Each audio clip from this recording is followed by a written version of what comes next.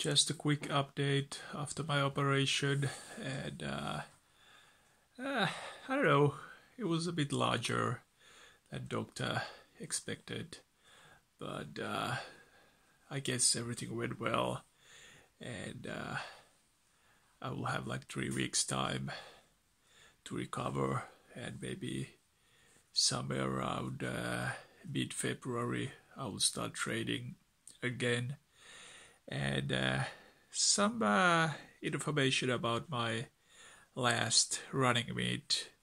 And it was uh, one week ago and just five days before operation. Yep. Over here. 10 kilometers. 10 kilometers yes and uh, overall placing uh, number 8 and my time 44 23 that's my personal best. I was last male to arrive.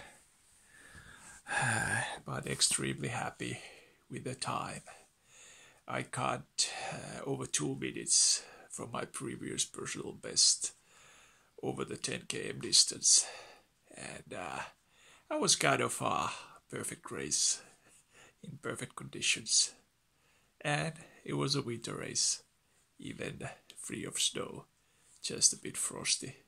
That's all. Okay, we'll see in February, hopefully.